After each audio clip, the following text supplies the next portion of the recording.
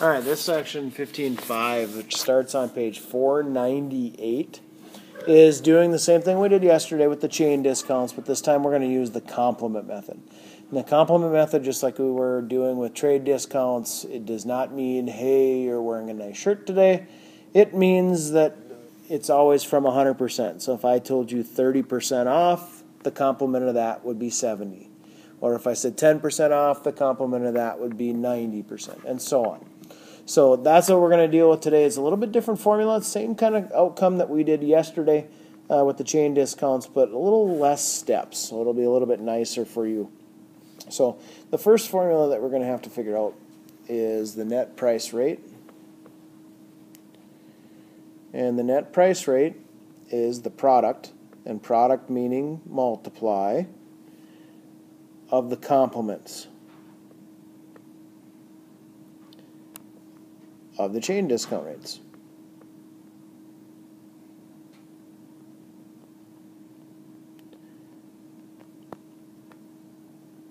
Okay, that's the first thing that we have to do. The net price rate is referring to the product or multiplication of all the complements of the chain discount rates. Then the next formula that you would use to find the net price would equal the list price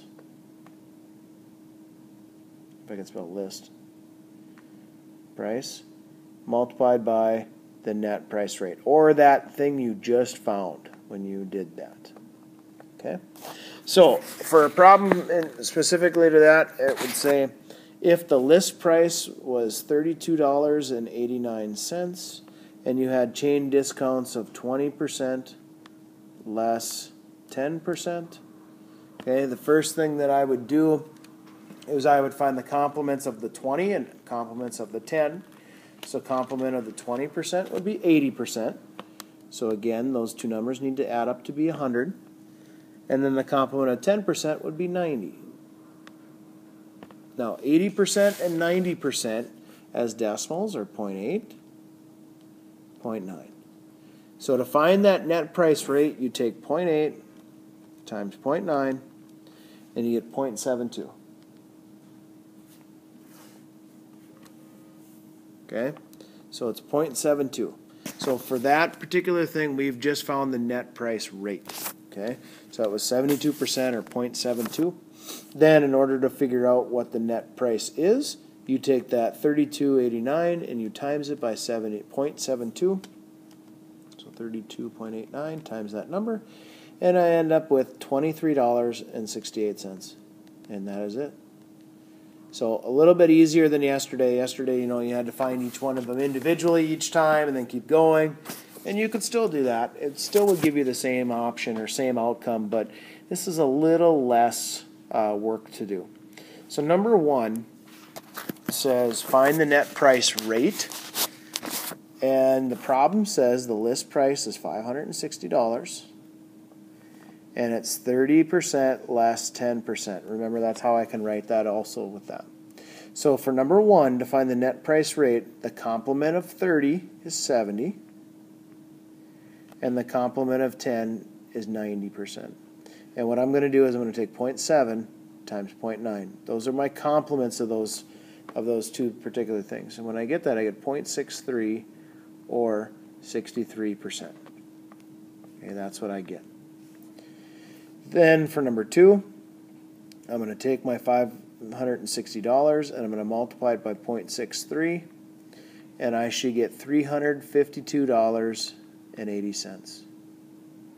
So again, in order to get these two numbers here, the 90 and the 70, I took the complements, or what would add to 30 to give me 100 and what would add to 10 to give me 100, um, and then multiplied them together. That's how I get the net price rate.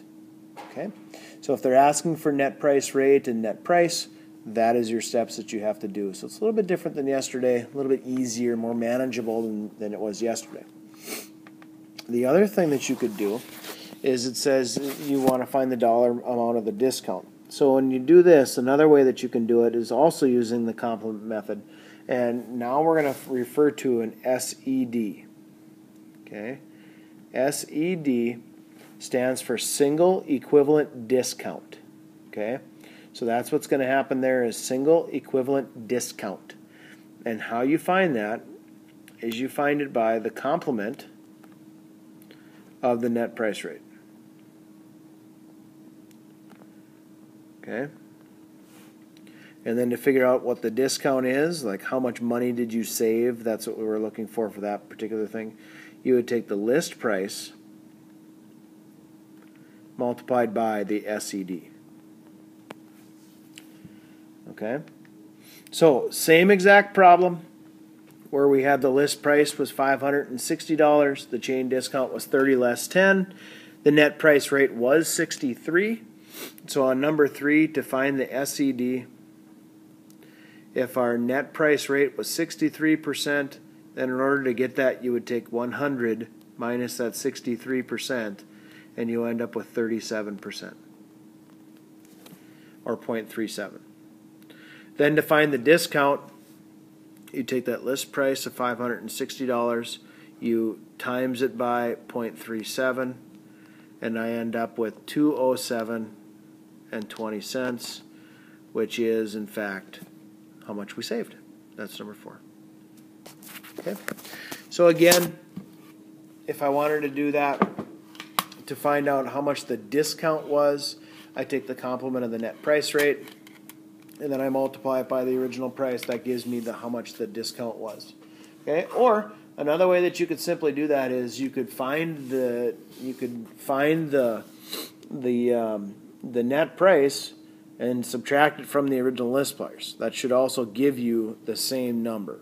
Okay, so if I did uh, back here on this slide where I did, um, it was 560. Now it's 352. 80. If I were to take 560 minus the 352.80, I should come up with that same number of 207.20. Okay, so that's one of the things that could happen there too. Is just just another way of looking at it, another way of, of doing the same problems. Then when you turn to the next page, just so that you guys know the, the chart, when it says the list price uh, in the first column, then it gives you the different chain discounts, then it gives you the net price rate, and then the net price, the SED. In order to find the SED, you take the net price rate, minus that from 100, and then the discount, you would take the SED number and multiply it by the list price. Okay, so um, I hope that helped. Hopefully that should uh, make sense. Uh, if not, hopefully try to read this or, or go through it again. Um, but you are doing 1 through 16. So, anyway, have a good rest of the day. Talk to you guys later. Bye.